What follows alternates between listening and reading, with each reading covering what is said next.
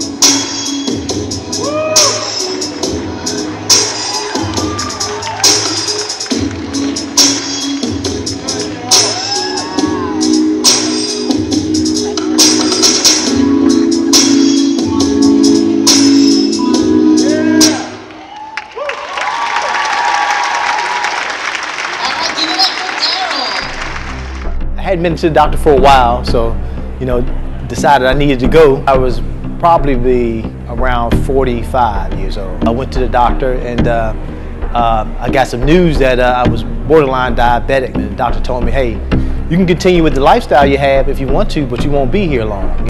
When I first met Daryl, Daryl was about 200 pounds. I, I think he was probably 25, 30% body fat. I was probably close to 200 pounds, five, eight and a half. I felt really like I was poisoning myself. He was eating foods and he was eating healthy foods, according to him, um, but he wasn't consistent and he wasn't working out. I didn't want to die from something that was preventable. I got in that condition.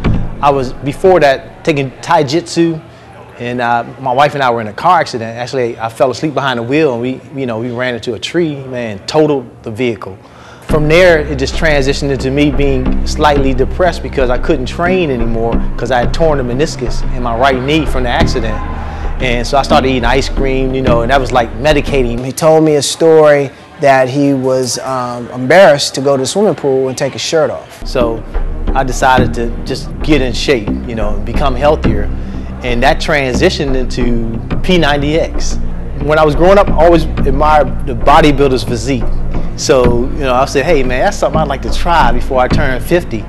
We started that journey and basically we just lost a pound a week, you know, um, and I, I basically described it, uh, prescribed a diet for him, uh, for him to follow and a workout regimen as well. And he followed it to the T.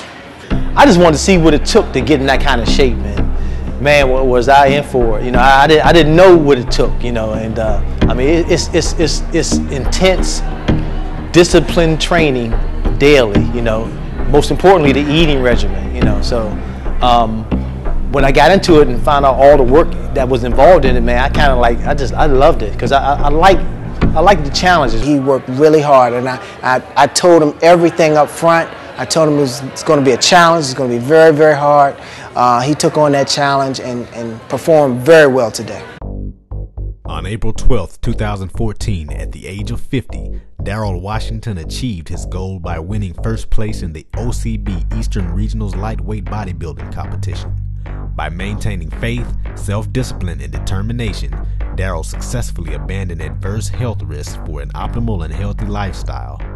In the process, he achieved the ultimate physique.